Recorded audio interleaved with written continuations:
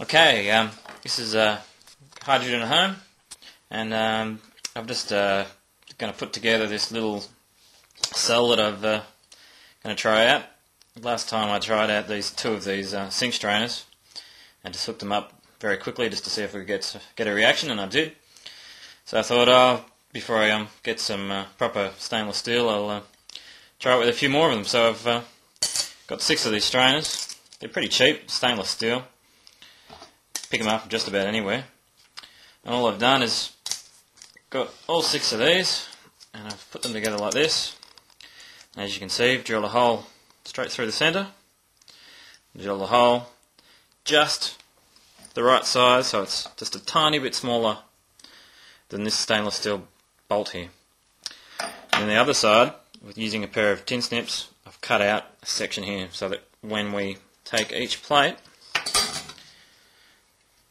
and put them like this, you'll see that the bolt will go through every second plate without touching the other plate. So I'll do that quickly now. Take our plastic bolt, which is just out of a holding a toilet seat on. I'll whack that through there. These washers are 3mm thick and they're just scrap plastic.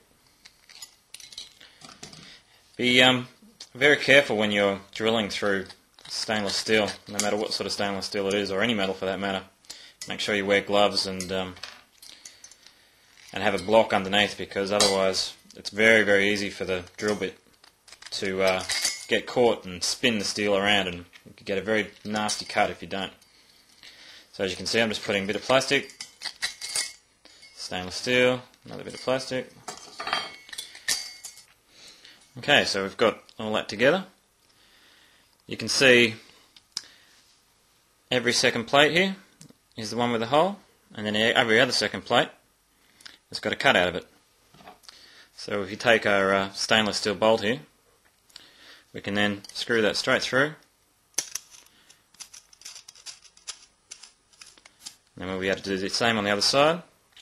So one bolt will be for the positive, and one bolt will be for the negative in order to um, thread up these these um, strainers, instead of going to the expense of getting a tap and die set at the moment, all I've done is taken one of these bolts, and you can see I've slightly uh, grinded that down so that I could take each plate one at a time before I put it together, and just worked it through, just so that it would uh, just get through there like that and screw in.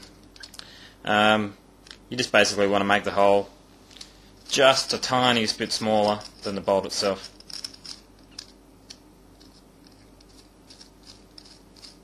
You can see that just will just go all the way through. I'll probably use a pair of pliers and get that all the way through.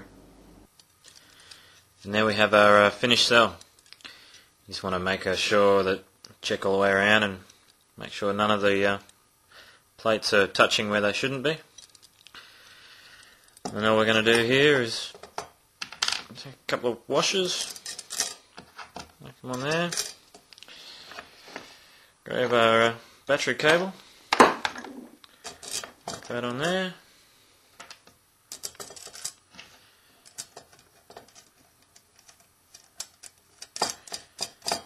And screw that up tight. And there we have our finished cell ready to hook up and try it.